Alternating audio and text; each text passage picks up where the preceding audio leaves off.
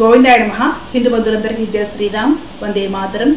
కృష్ణ వందే జగద్గురం. భగవద్గీత రాజవిద్యా రాజగుహయోగము నాలుగవ శ్లోకం. మయాదతమిదం సర్వం జగదవ్యక్తమూర్తిన. మత్స్థాని సర్వభూతాని.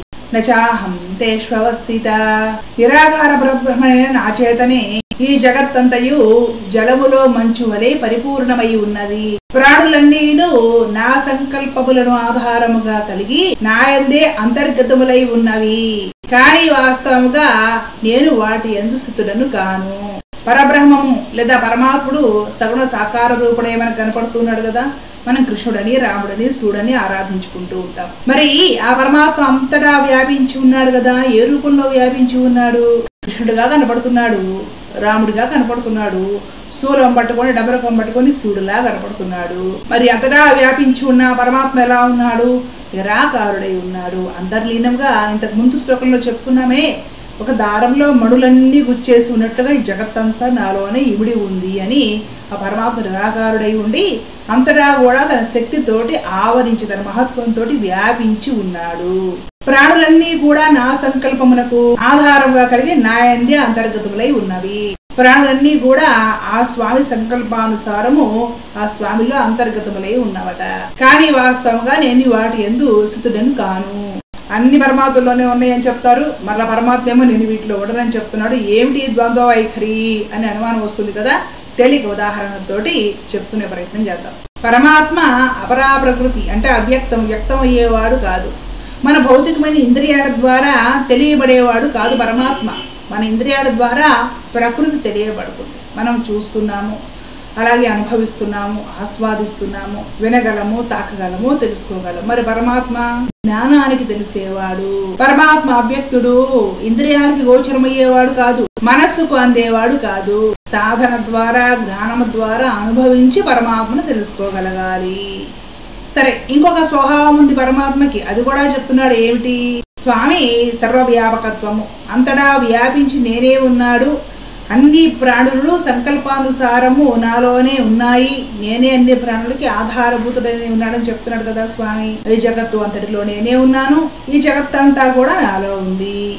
అంటే ఇప్పుడు పరమాత్మ వైకుంఠంలోనో కైలాసంలోనో లేకపోతే కాశీలోనో రామేశ్వరంలోనో మధురలోనో బృందావనంలోనో అయోధ్యలోనో ద్వారకలోనే ఉండేవాడా? ఇంకెక్కడా ఉండడా అంటే అక్కడ ఉంటాడు ఇంకా అన్ని చోట్ల ఉంటాడు.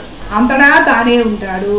కానీ ఆయా క్షేత్రాల్లో భగవంతుడి మహిమ ఇంకా అపారంగా ఉంటుంది. అంతేకాని కేవలం పరమాత్ముడు అక్కడ మాత్రమే కాశీలోనే ఉన్నాడు లేదా ద్వారకలోనే ఉన్నాడు తిరుపతిలోనే ఉన్నాడని కాదు. ఆయా క్షేత్రాల్లో ఆయా ధామాల్లో పరమాత్మ యొక్క అపార మహిమ ఉంటుంది. ఆయా క్షేత్రాలకు ఆ దివ్య శక్తి ఉంటుంది. కాబట్టి పరమాత్మ అక్కడ మాత్రమే ఉంటాడు ఇంకెక్కడా ఉండడు అనుకోవడానికి లేదు. అందుగరుడు ఇందులేడని సందేహము వలదు చక్రి సర్వాపగతుండు. మత్స్థాని సర్వభూతాని సర్వపురాణులన్నీ కూడా నాలోనే ఉన్నవి. ఈ సకల జగత్తుకి ఆధారము పరమాత్మ. కానీ ఆ పరమాత్మ మాత్రం ఎవరి మీద ఆధారపడి లేడు. ఇది గ్రహించాలి చక్కగా. ఇంత పెద్ద అనంతమైన విశ్వంలో భూమి లాంటి గ్రహాలు సూర్యుడు లాంటి నక్షత్రాలు పాలపుంతలు లాంటివి గెలాక్సీలు లక్షలు కోట్లు ఉన్నాయి. ఒకదానికి ఒకటి కోట్ల మైళ్ళ దూరంలో ఉన్నాయి. మనం ఇంకా కనుక్కోలేని సైన్స్ కూడా అందర నక్షత్రాలు ఇలాంటివి ఎన్నో విశ్వంలో ఉన్నాయి. ఈ విశ్వమంతా ఏమిటి అంటే ఈ విశ్వమే పరమాత్మ. విశ్వాకారం గగన సదృశం మేఘవరణం శుభాంగం అంటున్నాం కదా. ఈ విశ్వమంతా కూడా తన ఆకారం కలిగిన వాడు పరమాత్మ. ఇప్పుడు చెప్పండి అసలు ఆ స్వామి లేనిది ఎక్కడ? అంతటా తానే ఉన్నాడు కదా. అర్థం కాని వాళ్ళకి ఇంకా అసలు తేలిక ఉదాహరణతో చెప్తా. మన ఇంట్లో కరెంట్ ఉంటుందండి. అది మన కంటికి కనపడుతుందా?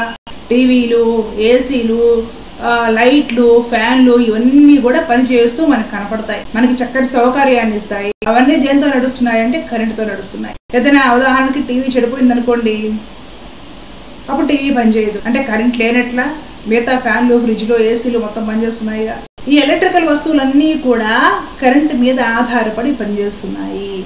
కానీ కరెంటు ఈ వస్తువుల మీద ఆధారపడి ఉండదు. అంతే కదా? కరెంట్ లేకపోతే ఎంత విలువైగా అయిన వస్తువులు కొనుక్కున్నా సరే ఎలక్ట్రికల్ వస్తువులు ఏవి కూడా పనిచేయవు. ఆ పెట్టాల్సిందే. కానీ కరెంటుకి ఇలాంటి వస్తువులన్నీ అవసరం లేదు. ఈ వస్తువుల పైన కరెంట్ ఆధారపడేది కాదు. ఈ వస్తువులన్నీ కరెంటు మీద ఆధారపడి ఉంటాయి. కరెంట్ ఉంటేనే ఇవి పనిచేస్తాయి అంతే కదా? పరమాత్మ కూడా అంతే. ఈ జగత్తంతా కూడా పరమాత్మ మీద ఆధారపడి ఉంది. అంతర్లీనంగా పరమాత్మడే ఉండి ఈ జగత్తంతా కూడా చైతన్యపరుస్తూ ఉన్నాడు పని చేపిస్తూ ఉన్నాడు నడుపుతూ ఉన్నాడు. అంతేగాని పరమాత్మ వచ్చి జగత్తు పైన ఆధారపడి లేడు. ప్రాణులని నా మీదనే ఆధారపడి ఉన్నవి కానీ వాస్తవానికి నేను వాటికి స్థుతులను కాదు అని పరమాత్మ చెప్పాడు చూశారు. దానికి అర్థము ఇది. ఈ ఉదాహరణ ద్వారా మనం తేలిగ్గా తెలుసుకోవచ్చు. ఈ జగత్తంతా కూడా సకల బ్రహ్మాండాలన్నీ కూడా విశ్వమంతా కూడా పరమాత్మ మీద ఆధారపడి ఉంది. ఆ పరమాత్మ అంతర్లీనంగా ఉండి చైతన్యపరిచి వీటన్నిటిని కూడా నడిపిస్తూ ఉన్నాడు. కానీ పరమాత్మ వీటిపైన ఆధారపడి లేడు. వీటన్నిటికీ పరమాత్మ ఆధారభూతుడు ఆధారమైన వాడు ఆధారపడి లేడు.